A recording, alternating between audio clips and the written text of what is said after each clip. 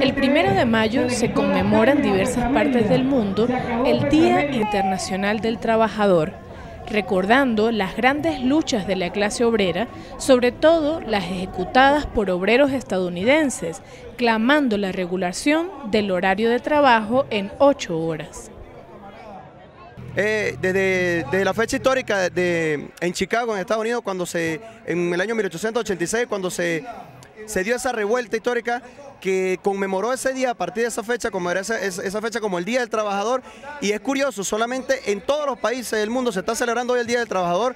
En contraposición de eso, el, Estados Unidos y Canadá, que fue allí donde se celebró esa, eh, donde inició esa fecha histórica, ahí no se celebra eso. Es curioso saberlo, por cual eh, eh, ellos no celebran la fecha del Día del Trabajador hoy por miedo a represar en aquellos tiempos en que el Partido Comunista, en aquel entonces, la gente de, que seguía el comunismo, agarrara, su auge. Ellos no celebran el día, el día del Trabajador el día de hoy. Nosotros sí lo celebramos, nosotros estamos de la mano con los trabajadores, con el obrero, y estamos de la mano con el presidente Nicolás Maduro, que es un obrero este, que nos representa dignamente nosotros.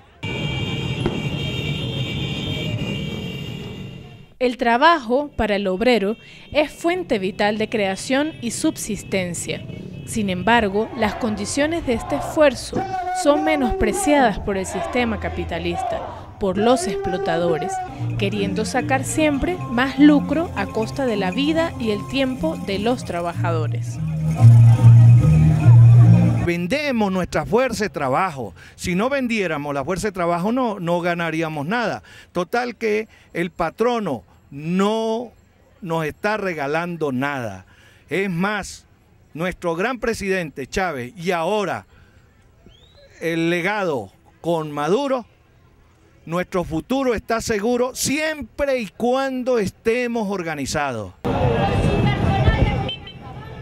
La revolución bolivariana y el proceso socialista en Venezuela que impulsó el comandante supremo Hugo Chávez ha sido ejemplo para el mundo, pues no solo ha reivindicado permanentemente a la clase obrera, sino ha impulsado su organización y su conciencia.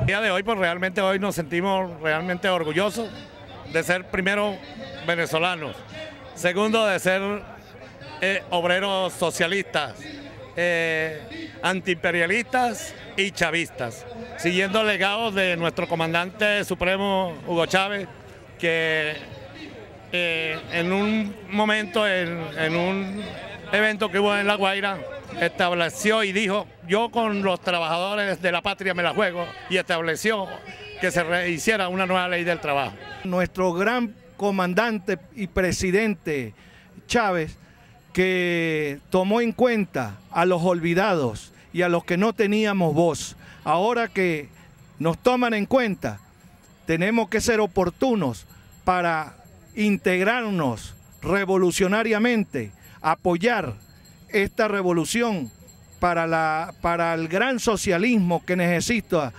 que necesitamos los trabajadores para un mejor vivir. En lucha de pro por la revolución bolivariana, socialista, luchando cada día más por esta patria bonita que liderizó nuestro comandante presidente y reivindicando nuevamente el poder laboral aquí, los trabajadores y trabajadoras de la patria nueva.